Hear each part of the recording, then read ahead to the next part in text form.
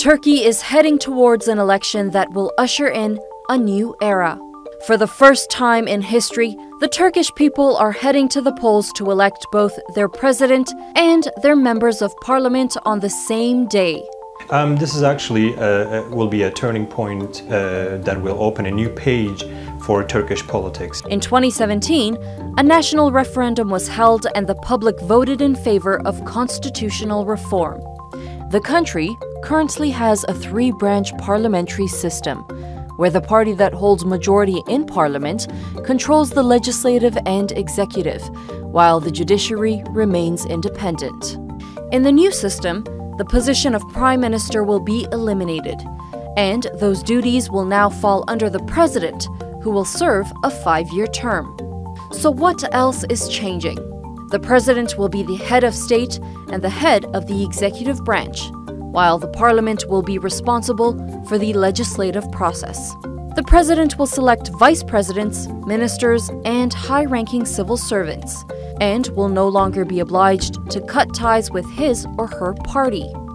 In previous times where we had uh, you know, chance of conflict between the president and the, and the, and the prime minister uh, in terms of political differences or ideological differences. Now this is being removed, which will make things run a lot smoother uh, when it comes to decision making in Turkey. It's now the president's responsibility to propose the budget. But before it can be implemented, it will still require parliamentary approval. And while the president will be able to dissolve parliament, it will come at a cost because the president will also have to run for re election. Why? Well, under the new system, both parliamentary and presidential elections must take place on the same day.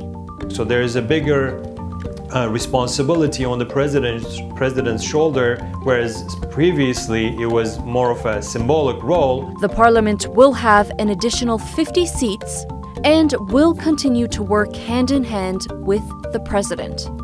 The legislative branch is uh, making laws to hold the presidency accountable, while at the same time letting the government uh, to govern the country. Military courts can no longer be established, except in disciplinary cases involving military personnel, and the civil courts will now take over their jurisdiction.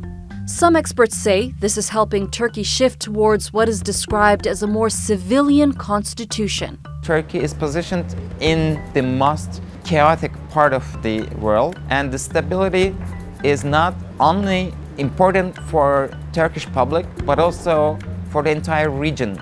So Turkey wants to stabilize its legislative and executive branches and wants to get rid of the intricate designs which was uh, inherited from the past uh, geopolitical structures.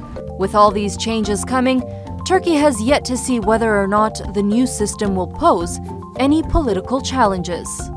Anyone who gets 50% by uh, receiving the popular vote uh, is going to be deemed as capable of governing the country. So of course this will produce its own uh, political uh, strengths and weaknesses.